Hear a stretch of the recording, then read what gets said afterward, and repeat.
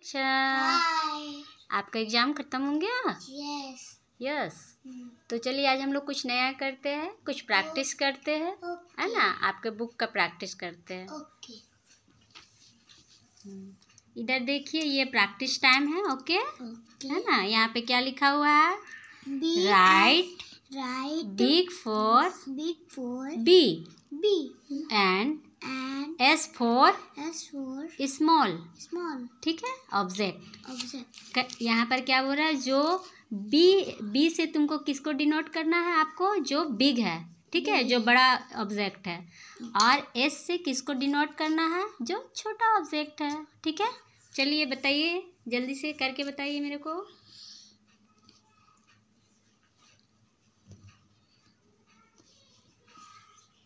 Very good wow big means क्या होता है बेटा? बड़ा। हाँ और एस मीन्स छोटा। हाँ वेरी गुड अब हम लोग दूसरे लाइन में देखिए यहाँ पे क्या बोल रहा है? राइट ठीक है? Right H for heavy heavy means क्या होता? है भारी। भारी and L for light object ठीक है?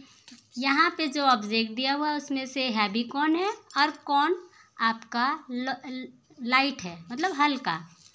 अब इसमें वर्क डाउन कीजिए। हाँ कीजिए कीजिए।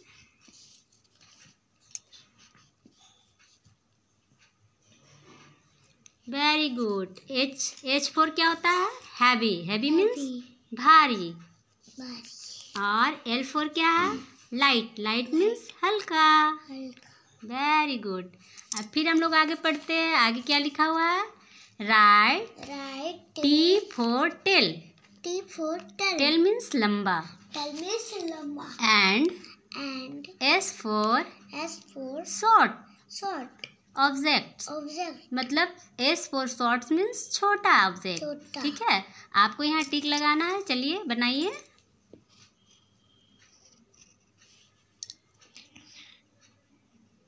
very good and last here right. Right M for object which should more more means क्या होता? है अधिक. अधिक. And and L for L for which which which which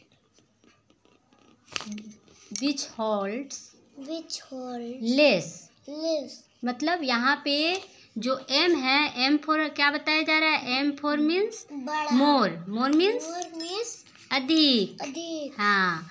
और L for less less means कम। तो यहाँ पे हम लोग वर्क डाउन करेंगे। कहाँ पे क्या है? आप बताइए। वर्क करके।